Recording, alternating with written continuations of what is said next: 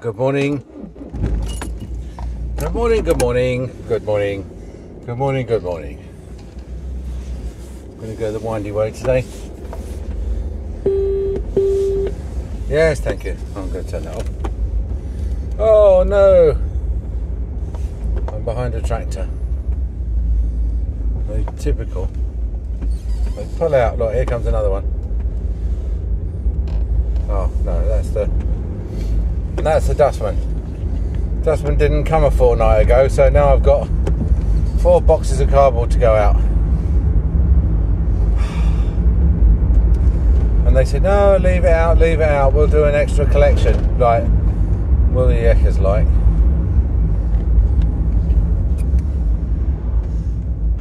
Now, what are you doing? I tell you what, I don't want to get anywhere near you. I'm getting impaled on the back of one of them, whatever it is. That's some sort of soil aerator, isn't it? Anyway, hope you're well. Hope you're well. We've had a, we've got a half dozen low pressure areas.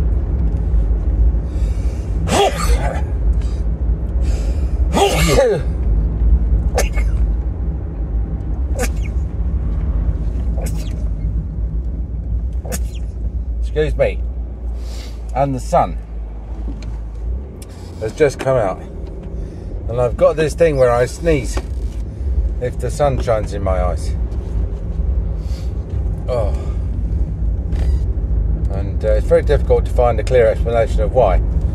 But the best one I can come up with is that my olfactory nerve runs very close to my optical nerve. So when the olfactory, uh, when the optical nerve is overloaded, the olfactory nerve gets a sort of a crossover signal and uh, gets irritated, and therefore I sneeze. Anyway, I was going to talk about the uh, the absolute dearth of NHS, uh, and I'm going to give you the one syllable version because honestly, you could go into so much detail over this.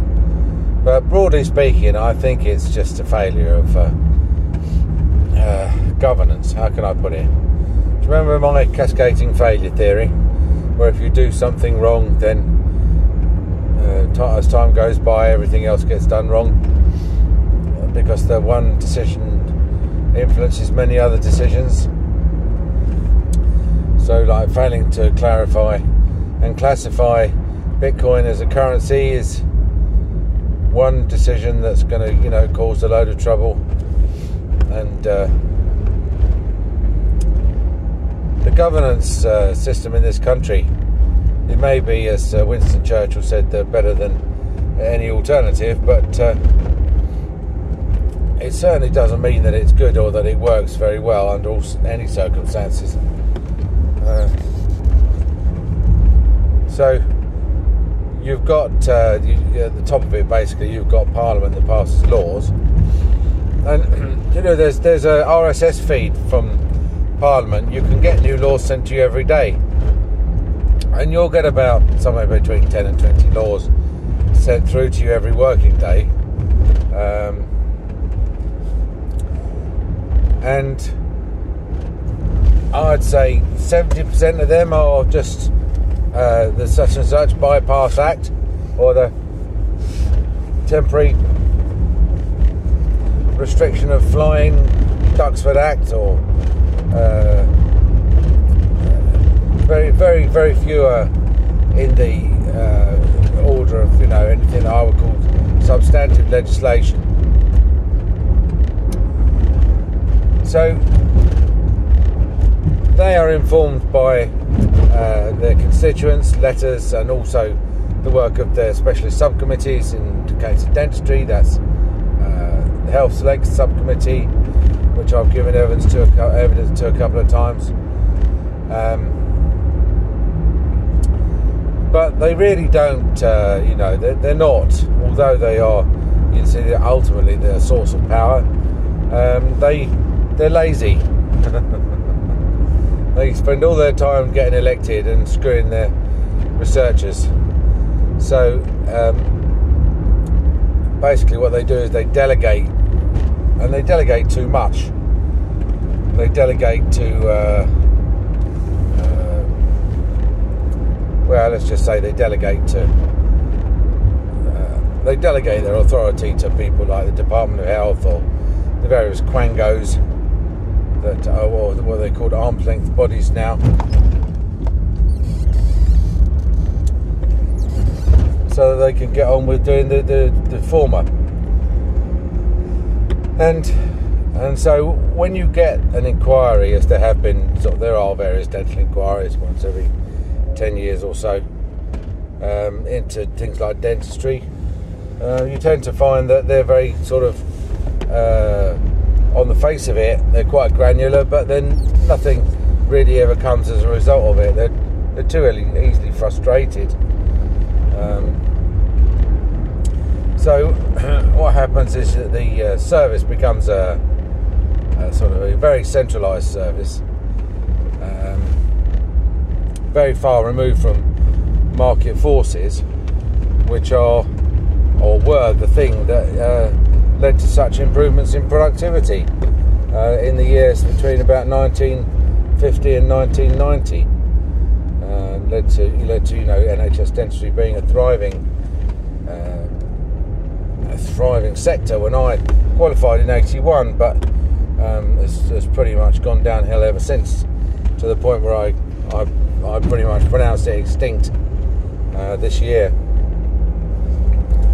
And the reason for that, as I say, is it's been, in my opinion, it's been through a case of uh, centralisation, uh, micromanagement, making things less efficient, less uh, responsive, nimble, uh, less aligned with uh, the oral health needs of the people who they tax. And I think, uh, I do think everyone has a right to the benefits to which they're asked to contribute. You know, if you're asked to pay national insurance, then I think you do have the right to um, uh, the benefits which are arise out of that authority's tax and it just so happens that uh, a, a, national health service that's generally available to everybody, free at the point of delivery, is is nominally what is created by that riot. Now, in practice, of course, uh, national insurance is nothing more than another tax. And we're looking at it increasingly in the context of a state that is unable to levy enough tax to pay for itself. They are, in America, for example, 24% of their income this year was uh, came from central government, and that is included in the gross domestic product. So, when they're looking at how efficient they are, how much money they're making, as you know, what their salary is as a country, they include all the money that's uh, uh, the, the income that's derived from government handouts or transfer payments, as they call them, um, is is included. So if things are looking rosy, it's only because uh, Social Security is is regarded as a uh, a, by, a, a, productive uh, byproduct, you know, a byproduct of of uh, economic activity one which it clearly isn't. I mean, most people do realise that uh, government has no money, only what it takes from from everyone else. But my point is that um, we got to the point now where uh, tax, as such, uh, needs to be regarded as not not paying for government, not paying for the activities of government, but for really just being redistributive. In other words, if you decide that one sector in society has has got more money than you'd like them to have, and another sector has got less, then you use taxation to try and pick a few winners and losers. You know, tra- transfer the money around. But the actual cost of uh, government and the armed forces and social security benefits and uh, pensions and things like that that comes from printing money. That doesn't come from taxations. It's actually the costs of government now are borne by Um, everybody who's got pounds or anything denominated in pounds uh, losing its purchasing power as a result of the debasement of the currency through overprinting. And that as a tax, and it is a tax, is um, I mean, you could say that in, in a way it's sort of reasonably progressive because it affects a rich person much more than it does a poor person, doesn't it? I mean, if you debase the currency and reduce the purchasing power of a pound, uh, then it affects someone who's got ten pounds far more than someone who's got one pound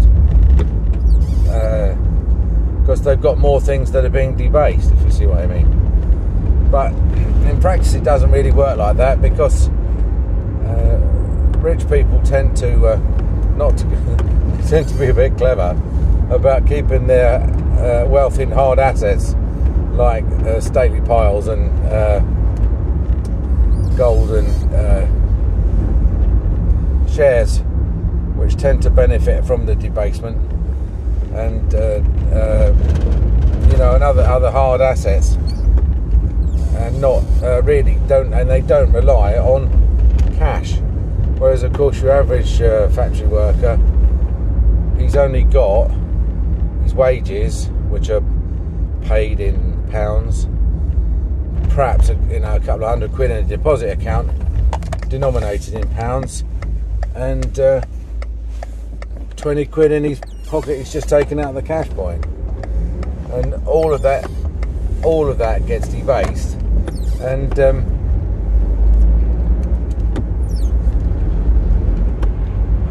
and so you know and, and also I mean all of it is used all of it is necessary whereas a rich person you know could afford to lose half their income and they would still be able to afford themselves and, and buy a nice car and look after their kids and that. Whereas um, someone who's sort of very much on the breadline, who loses half the purchasing power of their money, uh, is going to be in big trouble because they, they will have severe trouble paying for the rent and keeping food on the table, etc., etc. So, this failure of um, uh, remuneration or the purchasing power um, of the remuneration to keep up with the uh, expenses and the various uh, vagaries of the micromanaged system, things like the completely useless Care Quality Commission and uh, the, the, highly expensive and equally useless General Dental Council, um, has just led to market forces taking over. And as a result, uh, you know, you can't, even in healthcare, you can't work the impossible. You can't, you know, if you've got uh, £100 worth of need and you've only got £80 worth of budget, then you're going to have £20 worth of unmet need. And if you've signed a contract to say that you'll meet that need, the hundred pounds worth of need, and you've accepted in return an eighty pounds budget, then that's that is very much your problem. You know, I still I would still say that you can't uh, you won't you can't meet that need. You'll still the need will still be unmet, but you're uh, you're playing into the hands, aren't you, of the people who say, well, no, all that need has been met because we've contracted someone who said that they can deal with it, you know, who can. Someone's offered to take that uh, problem off our hands. Yeah. So dentists sort of drift away from the NHS, I think, uh, slowly, slowly, slowly, and then and. Uh, but the NHS uh, mandarins at Whitehall and Richmond House are in a bubble. I remember uh, going to a meeting, uh, opening of a new chain of dental practices called Genesis, that was being entire, done entirely as a sort of pet project of someone, and probably almost entirely funded by public money, grants, etc. Uh, Genesis was the name was very carefully chosen to you know to mean new birth and new start, and also to appeal to uh, anyone who's sort of a bit religious, quasi-religious. And and it went nowhere. You know, it was supposed to be the new dawn for the NHS, the new high quality NHS that was promised. Um, just by the Department of Health or by the dentists who, who were after the money. You know, they, they said, no, look, you know, what you're paying, you should easily be able to get a, a high quality service. And uh, I, I, spoke to a dentist and I said, look, you know, um, he was standing next to the chief dental officer. I'm sure that's no coincidence. And said to him, how, how can you make chrome dentures when the fee for the chrome framework alone is more than the fee you're going to get paid for the entire course of treatment, including the checkup, the x-rays, the fillings, the root treatments and the extractions. And uh, the bloke standing next to him said, well, I, I can do it. He said, I, I don't find it any problem at all. And I said, really? You know, are you a dentist in the real world? can I reach out and touch you? and he said, yeah, yeah, absolutely. He says, absolutely not a problem. And uh, I've actually do you know that's an attitude I came across when I was a student at dental school? And you've got uh, uh, students of a certain type who come from a certain type of public school could look you straight in the face and say black was white, you know. They, they didn't sleep with your girlfriend, blah, blah, blah, that you got it all wrong, and, and be very convincing about it. And he was absolutely straight faced, told me that he could do chromes on the NHS, no trouble at all. And uh, I said to him, I, I, said the same thing, which I always say, which is, which totally disarms these people, which is that, look, would you mind awfully if I came and just spent the day at your practice and see how you do it? You know, can I just see how? Uh, could you show me? Because, uh, you know, obviously best practice and all that, spread best practice. Why don't you come and? Why don't I come and just learn from you? And then, of course, the answer is, oh no, no, I'm sorry that's not possible. No, we can't do that. We can't do that. And of course, they can't do that because they don't do that. You know, you you will never see them doing that because they, that doesn't get done, and uh, it's just a lie. You know, it's just a lie. Uh, and it was the same when uh, they brought in HTM 01-05, the anti-cross infection uh, protocol, and uh, I said that it's impossible in an in an NHS practice to incorporate the, everything that they uh, ask you to do. And a couple of people said, "Yeah, no, there's no, there shouldn't be any problem at all doing that." And I said, "Well, I'd like to challenge you."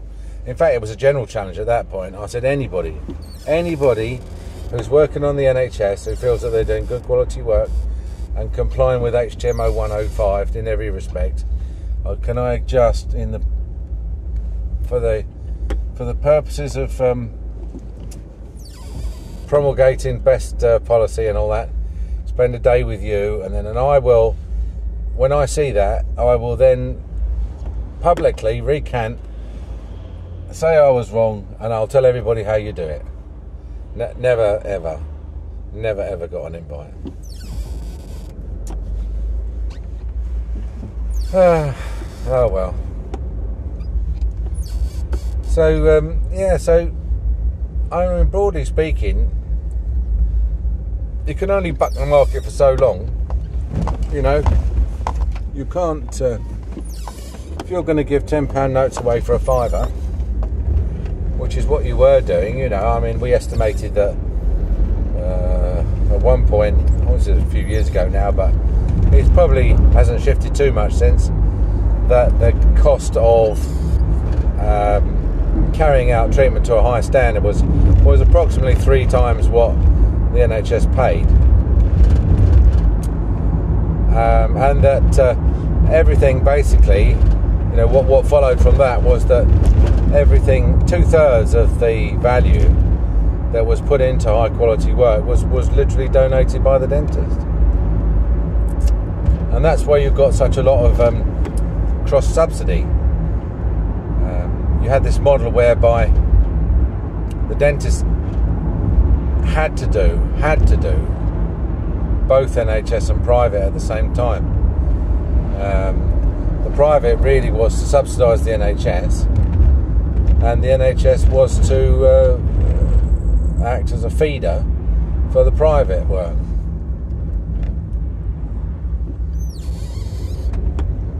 And if you went along and suggested to the dentist that he, you know, why wasn't he working entirely on the NHS or entirely privately, that was, you know, they, they would react quite badly to that because they knew and you knew that um, they wanted NHS patients, even though they made a loss on them, because they acted as a, they were a fertile breeding ground. I mean, you need a bunch of people to be able to say, um, you know, your gums are in a terrible shape, you need to come and see my hygienist. But privately, or, um, you know, I can, you need a crown, but I can do you a crown on the NHS that looks like a, a polo mint, you know, sort of Armitage Shanks type crown, or I can do you a crown privately, uh, which looks like a tooth. You know, which would you prefer? I mean, no pressure. and so, of course, the the NHS uh, drove the private side of the practice, which made the money, and then uh, the uh, and the private private side then cross subsidised the the small amount of loss you made on the NHS patients because nobody really got any work done on the NHS. They were only they, they were sort of suckered in for a checkup only to be told that they'd be better off going private. Um, and these um, patients were, they were all like, oh, look, an NHS dentist, you know, oh, there is an NHS. No, I'm not coming to see you privately. I found an NHS dentist. And you're like, okay, you know, let's see how much NHS dentistry you've actually found. And of course, there's the the uh, inevitable bending of the rules with that, because the the NHS is not stupid and I mean, not not to the extent that they didn't know that uh, this uh, mixing was going on, and and did try to stop it insofar as they said. Um, you know, they would take action against anybody found doing something privately, which could have been done on the NHS. And so they brought in forms and they said the patient had to sign to make sure they understood they're having stuff privately, but you know, they still can't. Uh, you know, you still can't, even if the patient signed, you can't know what they were told or what they understood or what they'd heard from their neighbours about what happens to them if they don't sign it and they, or, you know, or, or, um, you know, obviously you're in complete control of the patient at that point. You can't, you know, you can suggest to the patient that they might have a crown and then see what they what their attitude is you know what their initial response is and then see if if you think they might be more amenable to having it done privately then you can say yeah I think I think you definitely do need one. If they say oh is that included in uh, what I've already paid? You can say well um, you know should we decide to do one in the future then we'll have to look at it at that point you know. So the government's on the hiding to nothing. Dentists are too close to their patients. They're not. That's why, um, you know, if dentists get pissed off, then the government, in trying to reach the patients directly through the media or through, I mean, they've even advertised on petrol pump handles where I am, um, but nothing beats the dentist, who the patient's known for a long time, just whispering in their ear and saying, you know, oh, Mr. So and so, our local MP, he's being a right pain in the arse over dentistry. He won't do this and he won't do that. And um, the patient's like, oh, okay, you know, and it's a captive audience. It's like shooting fish in a barrel. They can't. The dental profession has got a massive uh, power of uh, a massive influence over uh, the patient, the patient base. It tends to be the patient base that doesn't attend that swallows what the government says and the patient base that does attend uh, tends to be a little bit more in the know and a bit more savvy, and uh, you know, and enjoying the uh, the benefits of the fruits of the national insurance that everyone's paying for, and which they're the only ones that have managed to um, make work. still, as I said, I wouldn't. Uh, I wouldn't micromanage the service. They took this. They took the uh, the management of the service out of the hands of, of dentists in about 1988, 1992, and said it was going to become centrally managed. Whereas before we were self-employed subcontractors. They used to just tell us how much we were going to get paid for doing various bits of work, and then let us organise who needed to be um, worked on and and make sure that the work was of a sufficient standard that patients would come back. Once you get centralised, it's a bit like um, it was a bit like nationalisation. You know, you could set up your own surgery, and you could on day one, uh, all you had to do was write to Eastbourne and tell them that you were qualified, and they would issue uh, give you a, like a provider number, and um, then on day one you just open your doors, and whoever walked in, you you did the work and sent in a claim form. I mean, there were limits on various limits, you know, more financial than clinical, uh, more designed to slow down payments out of the budget, more rather than uh, uh, based on what patients needed. But you know that we we always complained about that. Um, but then, but now, of course, you know we are we've been effectively nationalised we're the worst kind of nationalisation because all our rights to work have been nationalised and all our uh, obligations to pay our expenses have, have, stayed in the private sector. So we're now told where we can work, we're now told when we can work, we're told what we can do and on whom or who we can do it, and we are then told that. Um, we're told what, what we're going to receive, and then uh, left, and then but then told that it's up to us then out of that hot mess to try and pay for our own surgeries and our own staff and in the private sector. Just uh, and they wonder, and they wonder why there's no NHS. So that's it. So the short answer is that it's just a case of. Uh, market forces prevailing, you know. And nobody wins. Department of Health certainly doesn't win. They're not covered in glory in terms of NHS dentistry. The patients don't win. They're losing uh, because they're not only failing to get a service that they think they've paid for, plus the, plus they're losing all their teeth. So that's a double loss for them. And the profession really just um, ends up moving into the private sector and seeing far far fewer patients for less money, I would say, on there than they would on the NHS. But in terms of uh, improved uh, job satisfaction, quite quite improved job satisfaction. Right, okay, that's it. I'll um, talk to you later. Bye.